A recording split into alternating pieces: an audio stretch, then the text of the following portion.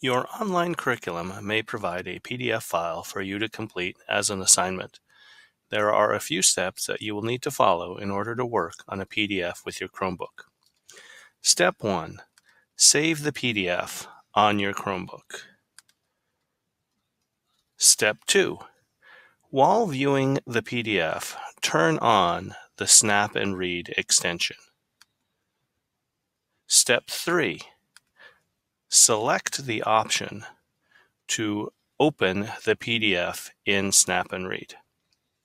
This will open the PDF in an editable format in Snap and Read. To add a text box, click on the pencil icon, then click on the T icon.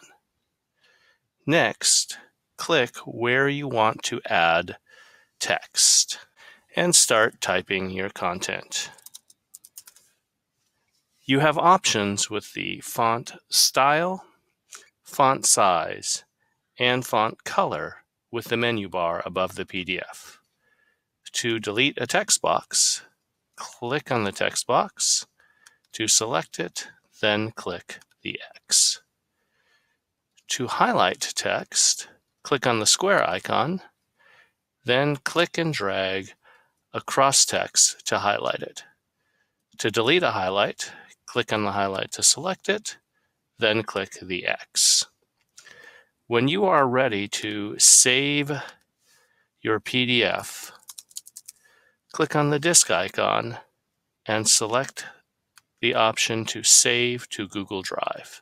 You may need to authorize Snap and Read to access Google Drive.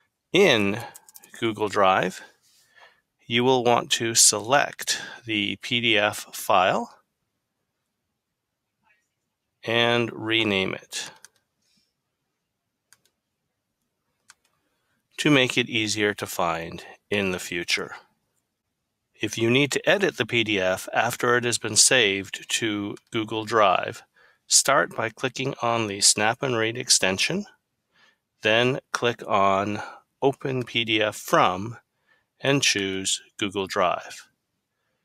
Click on the PDF file that you want to edit and click Select.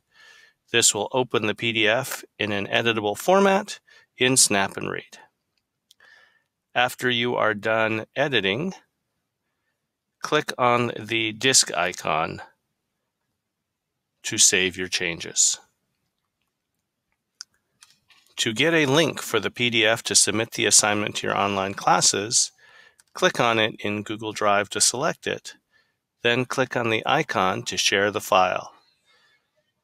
Click the Get Shareable Link option and make sure that anyone at Stanislaus County Office of Education with the link can view it. Then copy the shareable link and click Done.